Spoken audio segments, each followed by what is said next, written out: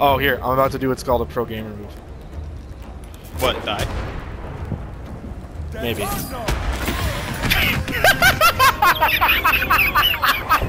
Yeah. Fucking lol.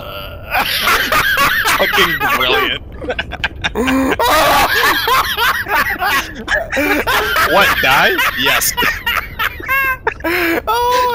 Better than I possibly could have imagined. And there's no way to get you either. You know, we fucking hard failed. Because I yeeted myself off the fucking Nautilus into the nine hells.